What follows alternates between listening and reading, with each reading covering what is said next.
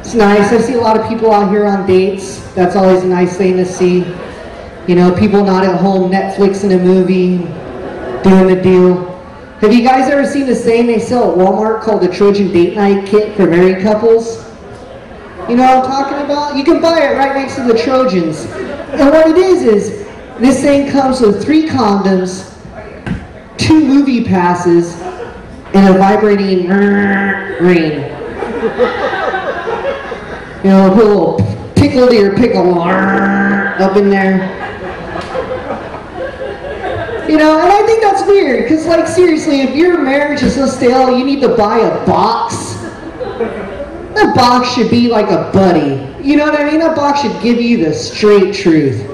That box should come with three condoms, two rings there for you, and one movie pass so you can go see a movie while your wife sleeps with your friends.